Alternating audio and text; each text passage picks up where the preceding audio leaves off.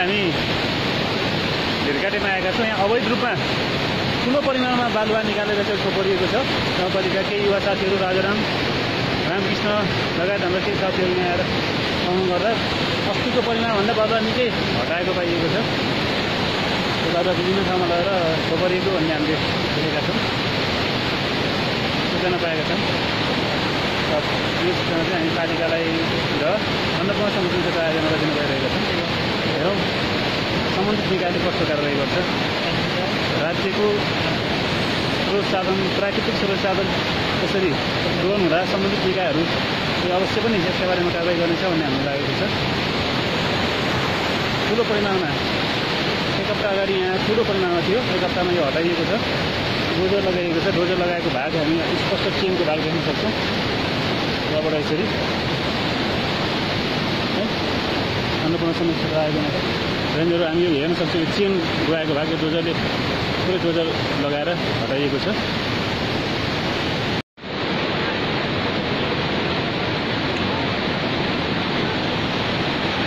यो हामी अहिले दोहो जाने पुलमा छौँ।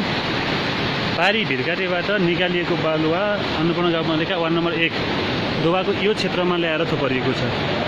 यो छ नम्बर वार्डबाटै निकालेको भनेर छ नम्बर वार्डका वडा अध्यक्ष दिलीपले हामीलाई जानकारी दिएका छन्। कसले कसरी निकाल्यो किन थोपरेको हो त्यो चाहिँ उहाँलाई कुनै जानकारी नभएको र छ नम्बर वाडाबाट निकालेको बालुवा चाहिँ यहाँ लुकाउनलाई यहाँ ल्याइएको भनेर ठुलो परिमाणमा। लगभग यहाँ हामी पचास ट्र्याक्टरभन्दा बढी बालुवा यहाँ देख्न सक्छौँ।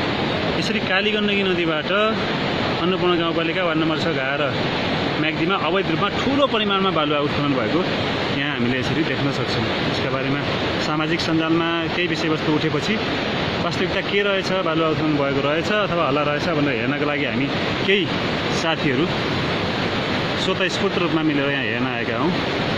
र बालुवा उत्खनन भएको ठुलो परिमाणमा उत्खनन भएको हामीले यहाँ देख्न सक्छौँ। हुनसक्छ अझै थप बालुवा अन्यत्र कतै लगेर थोपरेको पनि हुनसक्छ त्यसको बारेमा चाहिँ हामीलाई थप जानकारी छैन। यसरी कालीगण्डकी नदीमा अवैध रूपमा बालुवा उत्खनन गरिएको छ। लगभग एक सय पचास ट्रिपर भन्दा बढी बालुवा यहाँबाट एक सय पचास ट्र्याक्टर बालुवा यहाँबाट उठाइएको लगभग आठ लाख भन्दा बढीको बालुवा चाहिँ यहाँबाट निकालिएको भन्ने हामीलाई सूचना पाएर अन्वेषणका लागि आएका हौँ। कसले कसरी कुन प्रयोजनका लागि निकालिएको भन्ने कुरा सम्बन्धित निकायले यसका बारेमा अनुसन्धान अवश्य गर्छ। त्यसको लागि हामी यो प्रमाण सम्बन्धित निकायसम्म आवश्यक परेमा पेश गर्नेछौँ।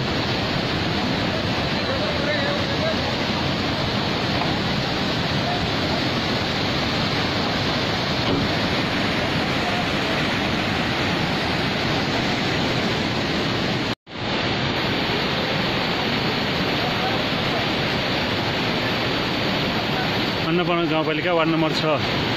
घारा भिर काटेको दोवा पुल। यो दोवा जाने पुल हो। योभन्दा यो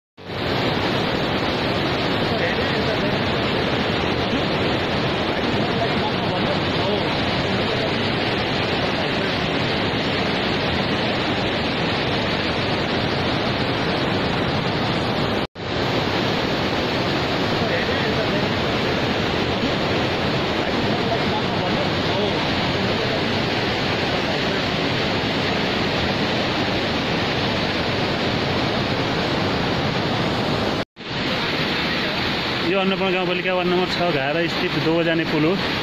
योभन्दा लगभग पचास मिटर पश्चिमतिर ठुलो परिमाणमा अवैध रूपमा बालुवा उत्खनन गरेर थुप्राइएको छ। यसरी नदीजन्य पदार्थ अवैध रूपमा उत्खनन कसले कसरी गर्यो भन्ने कुराको बारेमा अन्वेषण गरियोस् भनेर हामी सम्बन्धित निकायमा अपिल गर्न चाहन्छौँ।